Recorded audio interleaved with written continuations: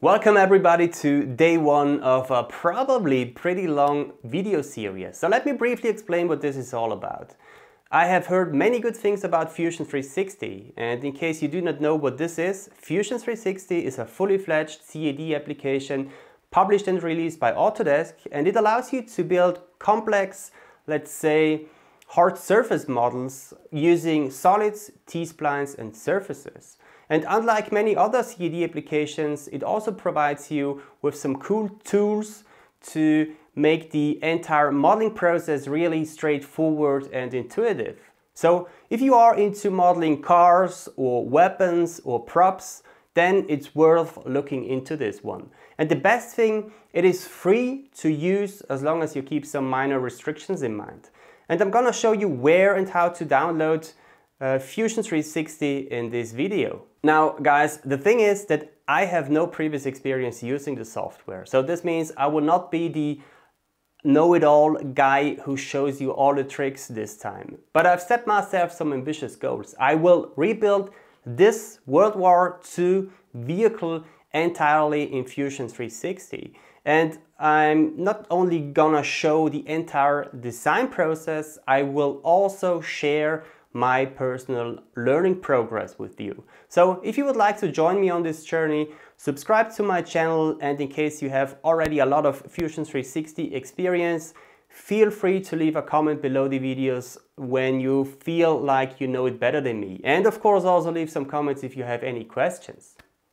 Now, there is a lot to learn and a lot to explore on this endeavor. And for this reason, let's do not waste any more time download and install Fusion 360 and let's jump right into it.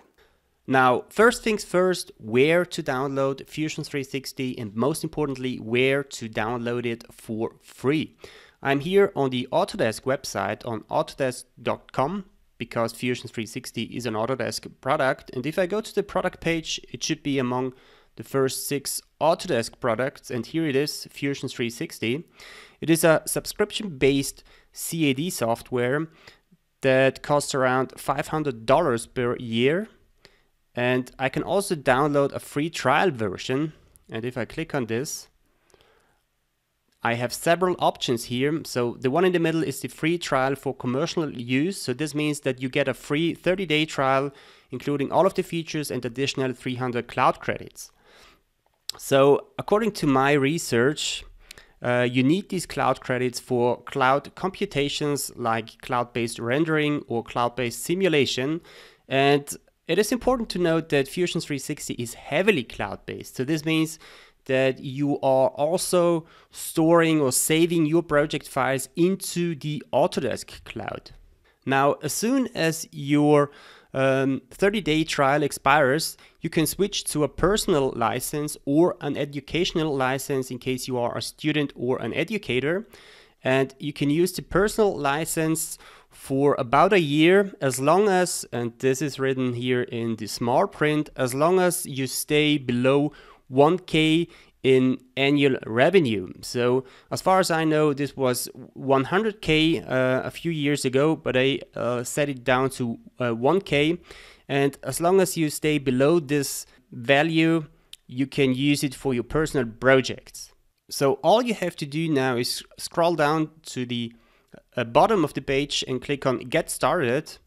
And uh, now you have to create uh, an Autodesk account or uh, to log in in case you already have one. And then you can download Fusion 360 or uh, download the installer and uh, install the software on your computer. Now, I have already done this. This is inside my Autodesk account and here is a list of my recently purchased products. And if I click on Fusion 360, I should be able to download the installer again. And here it is. If I click on download, I should get prompted with a little box where I can download the, the installer file and install Fusion 360 locally on my workstation. Now, this is what Fusion 360 looks like after a clean installation, so probably on your end uh, the grid is hidden. And the cool thing about these cloud-based applications is that they uh, do not come with several versions like we have it on other applications or other programs. Like, for instance, there is no Fusion 360 uh, 2019 or Fusion 360 2020. You always get the newest updates uh, when they are available. So in this case, you can see this little uh, green bar here where um, I get prompted with a message that uh, some new updates were just uh, installed.